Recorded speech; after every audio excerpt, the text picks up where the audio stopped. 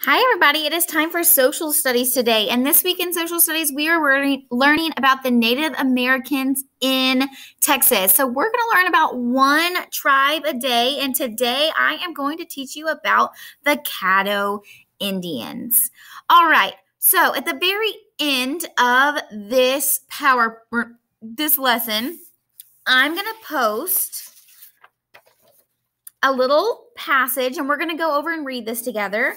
And I'm also going to post some questions. So make sure you're paying attention because your assignment every day is you're going to fill out some questions over the Native American tribe that we go over that day. So today is the Caddo Indians. You're going to learn today um, how the Native Americans came to tes- Texas, who lived in Texas before the European exploration, and Native Americans in Texas today. That's what we're going to learn about this week. So, around 25,000 years ago, co- the continents Asia and North America were connected. Isn't that weird? I never thought about them being connected before, but they're thought to be connected by something called Beringia. People might have walked across the Bering Land Bridge or followed the shoreline with boats. They think that they were probably looking for some food. Early people who lived in Texas, they didn't have a written history because they didn't write, but scientists have learned about um, native Texans, sometimes called Indians, by the artifacts they left. So they left things like pottery. You can see some pottery right there on that picture on the left. Um, tools like those arrowheads, other weapons, they've left those around. And that's how we know a little bit about the Native Americans. So we are going to talk about the Caddo Indians. The Caddo Indians lived in the coastal plains region. Remember, if I do my fingers like this, we have our coastal plains region, which is right on this shoreline right here. We have our mountains and basins, we have the Great Plains, and we have the Central Plains. And they live in the coastal plains region of Texas in the piney forests. So they used to they used those really tall trees you see there, and they would build these round beehive shaped houses, which is kind of weird. They're very, let me go to this next slide. You can kind of see them there. There's like little pokey things up, but there's like a little beehive. And those um, two people at the very top are like cinching them together, I guess, for their roof. So this is a painting by the artist Nola Davis, and it shows how the Caddos, they all work together to build their homes.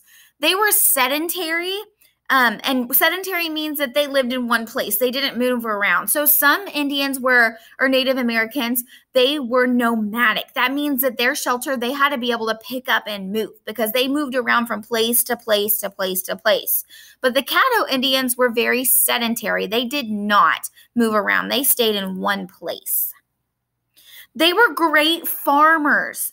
They learned to row rotate their crops in their fields each year so the soil would retain its nutrients it, retain its nutrients. It would keep its nutrients. And we're gonna some of the information we're gonna go over in a minute they were um farmers and hunters. The women would plant corn beans pumpkins sunflowers and then they would cook cornbread soups stews and sometimes when available the men would hunt deer, quails, turkey, and small game, and they also fished in the rivers. This is the typical appearance of a Caddo Indian. Both men and women would tattoo their faces and all of their bodies. The men, as you can see, would shave their heads, except for like one strip down the center. Um, they were also wore something called breech cloths, which were like leather leggings to protect their legs. And the women wore skirts and deerskin tops. Both men and women had earrings and they had moccasins. When it was cold, they wore buffalo robes. Um, like you see here, they shaved their head and they wore it in a mohawk style, but women wore their hair long, like in a bun or in a braid, and they often put bird feathers or animal fur in their hair to decorate it. Pretty cool, right? Both men and women like to decorate their bodies. Men liked body art and jewelry, body art like tattoos, jewelry, hair decorations, ear piercings. Um, women preferred tattooing their bodies and also their faces. So women had a lot of tattoos on their face. The Caddos, um, built large earthen mounds that were used to bury their religious leaders when they died. Scientists found many Caddoan artifacts in these mounds. So, um, another thing that we haven't mentioned is they lived as a confederacy. And a confederacy is a group of people who work, they all work together for one common goal. So, for example, during planting season, the Caddo gathered from the neighboring villages and they worked together to plant all the fields until all the fields were completed. They also worked together to create their bee beehive shaped houses. So let's go back and look at those beehive shaped houses. Yeah, they worked together to create those houses and um the houses were made from wood frames and they covered those with long mats of long grass. So one house could fit 30 people. One house could fit 30 people. Isn't that crazy? I also want to go back to the artifacts that some of these people had. Um, in the Caddo tribe, the women made bows and arrows. So, kind of like that arrow that you see there. And they created um, clay pots and utensils, kind of like that pottery. And they were so important to the men and the women of the tribe. They were often buried with them when they died. So, like it said here at the very end, how they buried them, sometimes they were buried with the things that they made, like the bows and the arrows and the um, pots and the utensils. Um, finally, just one last thing before I let you go on and move to your little assignment. They lived in permanent houses and they were very friendly with most of the Native American tribes around them. Not all Native American tribes were friendly. So we'll find that out later on that not all of them were very nice. But the Caddo Indian tribe was very, very, very nice to the neighboring tribes around them.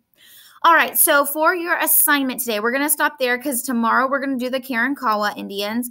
But for your assignment today, you are going to have both this page, which I already went over with you, and you're going to have this page, and it asks you questions. I'm giving you both of these because if you don't remember what I taught in the lesson, you can read through this to get your answers for this. So just use that PDF pen, add some text box in there, draw your pictures with the pen, type out your answers. You can print this out and you can write them in there. Um, but we're going to do one of these a day and I'm going to grade them for your social studies grades this um, the six weeks. All right, guys. I hope you learned a little bit about Caddo Indians. Tomorrow we're going to learn about Karankawa Indians or Karankawa. Everybody says a, a, little bit different. I'm not for sure the pronunciation, but that'll be super fun. Y'all get to learn about all these different um, people that lived in Texas before we did. All right. I love y'all. Have a great day.